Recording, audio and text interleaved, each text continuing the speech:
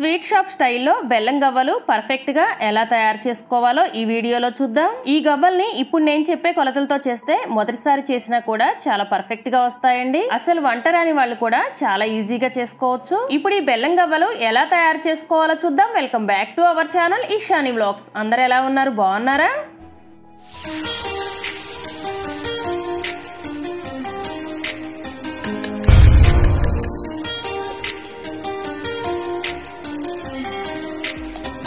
Sweet shop style బెల్లం గవ్వలు తయారు చేసుకోవడానికి నేను ఇక్కడ మైదా పిండి రెండు కేజీల వరకు తీసుకున్నానండి. మీకు కావాలంటే మైదా పిండి ప్లేస్లో గోధుమ పిండి కూడా తీసుకోవచ్చు. ఇప్పుడు ఈ పిండిని కలుపుకోవటం కోసం ఒక బౌల్లో వేసుకోవాలి. నేను ఇక్కడ పిండి కలపడం కోసం మిషన్ వాడుతున్నానండి. మీరు నార్మల్గా చేతితో కలుపుకోవచ్చు. హోమ్ ఫుడ్స్ చేసుకునే వాళ్ళకి ఈ మిషన్ బాగా ఉపయోగపడుతుంది. దీనిలో బియ్యం పిండి గోధుమ పిండి అలానే జొన్న రొట్టెలకు కూడా పిండి కలుపుకోవచ్చు. ఇప్పుడు ఈ మైదా పిండిలో మూడు వందల గ్రాముల వరకు బొంబాయి రవ్వ వేసుకోవాలి. ఉప్మా రవ్వ ఉంటుంది కదండి అదనమాట. పావు స్పూన్ సాల్ట్ వేసుకోవాలి. నూట యాభై గ్రాముల వరకు వేడివేడి ఆయిల్ వేసుకోవాలి. ఇప్పుడు ఒకసారి మొత్తం కూడా స్పూన్తో బాగా కలుపుకోవాలి. మీరు చేత్తో కలిపినప్పుడు చేయి కాలుతుందని నేను ఇక్కడ స్పూన్తో కలుపుకోమని చెప్తున్నానండి. ఇప్పుడు కొద్ది కొద్దిగా వాటర్ యాడ్ చేసుకుంటూ పిండిని బాగా కలుపుకోవాలి. వాటర్ ఒకేసారి ఎక్కువగా వేస్తే పిండి లూజ్ అవుతుందండి. అందువల్ల ఇలా కొద్ది కొద్దిగా వాటర్ వేసుకుంటూ పిండిని కలుపుకోవాలి. పిండి మరీ లూజ్గా కాకుండా ఇలా కొంచెం సాఫ్ట్గా ఉంటే సరిపోతుంది. ఇలా వీడియోలో చూపించిన విధంగా ఉంటే సరిపోతుంది. ఇప్పుడు కొద్దిగా పిండి తీసుకొని ఒక ప్లేట్లో వేసుకొని మిగిలిన పిండి పైన మూత పెట్టి పెట్టుకోవాలి. మూత పెట్టకపోతే పిండి డ్రై అవుతుందండి. పిండిని ఇలా చిన్న చిన్న బాల్స్ లా చేసుకొని గవ్వలు తయారు చేసుకోవాలి.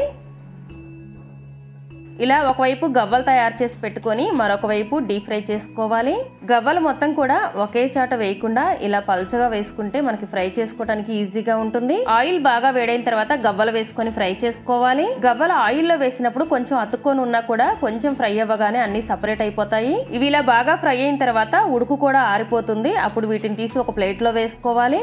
ఇలా ముందుగా అన్ని గవ్వల్ని కూడా తయారు చేసి పెట్టుకొని తరువాత పాకం తయారు చేసుకోవాలి. రెండు కేజీల మైదా పిండికి కేజీన్నర బెల్లం తీసుకోవాలి.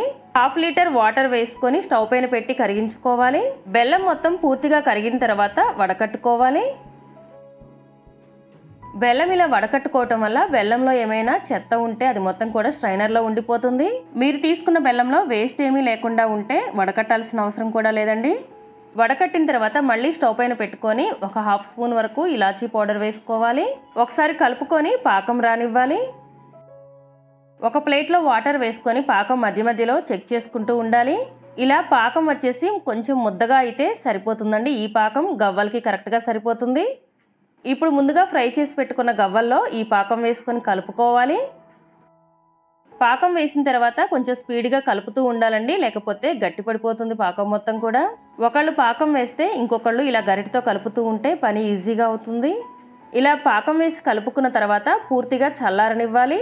బెల్లం గవ్వలు రెడీ అయిపోయాయి. ఇవి పదిహేను రోజుల వరకు కూడా చాలా ఫ్రెష్గా ఉంటాయండి. ఫ్రెండ్స్ మీరు మొదటిసారి మన ఛానల్ని చూస్తున్నట్లయితే ప్లీజ్ ఛానల్ని సబ్స్క్రైబ్ చేసుకోండి. అలానే పక్కనే ఉన్న బెల్ బటన్ని క్లిక్ చేసి అలానే ఆప్షన్ని ఆప్షన్ని క్లిక్ చేయండి. ఇలా చేయటం వల్ల నేను ఏ వీడియో పోస్ట్ చేసిన వెంటనే మీ మొబైల్కి నోటిఫికేషన్ వస్తుంది. అలానే మీకు ఈ వీడియో నచ్చినట్లయితే ప్లీజ్ వీడియోని లైక్ చేసి షేర్ చేయండి. Thanks for watching.